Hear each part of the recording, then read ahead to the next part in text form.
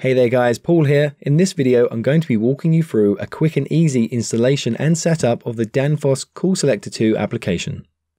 Coming up, installing the CoolSelector 2 software on a PC, checking for updates, applying personal or project specific preferences, customize reports with your own name, select components based on availability to a geographical location, viewing new products, as well as viewing the changelog for changes made during each update. This is the first video in a mini series for CoolSelector 2, where we'll be looking at a number of worked examples to help you select and calculate components for your refrigeration system. So do check out the other videos if you haven't already, links are in the video description below.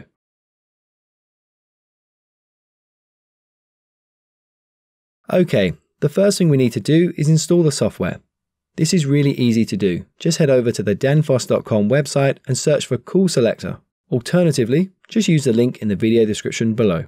Once you're there, just head to the download section. Then download and save the executable file to your computer. Once it is finished downloading, just run the program and it'll install in a matter of minutes. You can then launch the program and have full access to all the features, although it's recommended you watch these short tutorials first.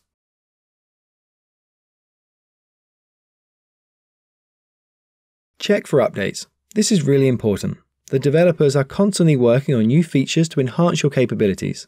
They also add new products periodically, and we all want access to the latest and greatest stuff, so make sure your program is kept up to date.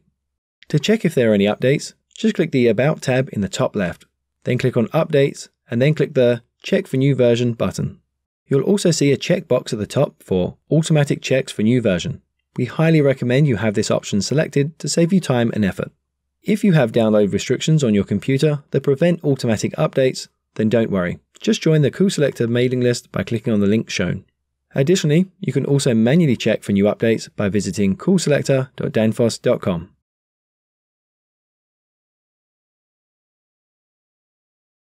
We're going to look at setting up some personal preferences for our project. To do this, click on the Options tab in the top left. Then select Preferences, and then select Edit Preferences, where a new window will pop up.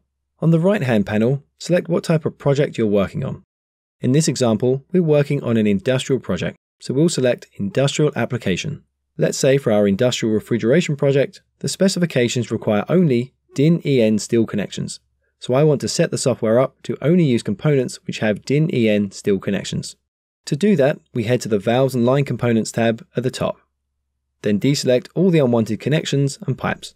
You can set additional preferences in the tabs at the top, for example, compressors and condensing units. Once you have all your preferences defined, just click the OK button. If you're happy with your selection, then click Yes in the Save Changes pop-up. The program will then prompt you to save this preference to save you time in future. We'll call this project DIN EN Steel and click OK. Now when we click on the Options tab at the top of the main screen, we'll see our custom preferences appear on the list we can quickly change to another preference just by clicking the title, or we can edit the preference again by clicking the Edit Preferences tab. You don't have to worry about messing the program settings up. The default preferences for all applications, commercial applications, and industrial applications cannot be permanently changed. Their values are set as default. If you make a change to one of these, the program will prompt you to save this as a new custom preference.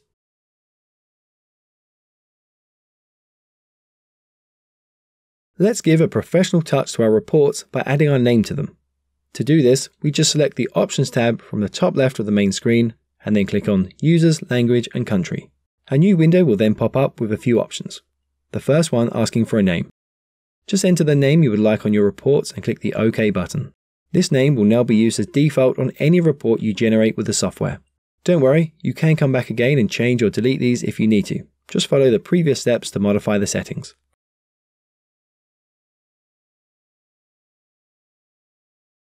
For our refrigeration system, we should specify the geographical location for the project. This is very important because there are a few Danfoss products which are not currently available in some countries, although this may change in the future and updates to the program will reflect this.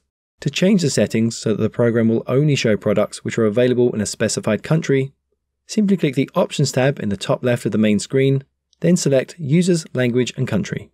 In the window which pops up, just select the country for the refrigeration project from the drop down menu. I'm based in the UK, so my default is the United Kingdom, but you can change this to the country you require.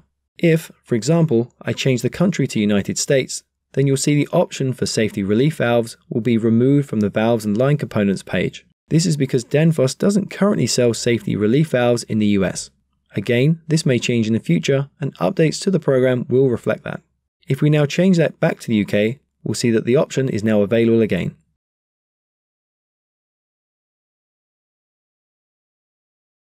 If you would like to see which new products have been added to the program after an update, simply click the About tab in the top left of the main window and then select News.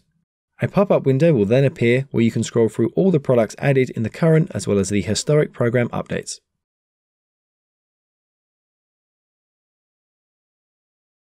If you would like to see which features of the program have been changed in the latest or previous updates, simply click the About tab in the top left corner of the main page then select About CoolSelector 2 and then click on the changelog in the pop-up window which appears.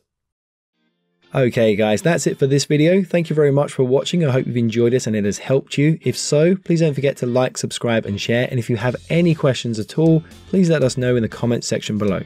You can also find links to more CoolSelector 2 tutorial videos in the video description. Do check these out. Once again, thanks for watching.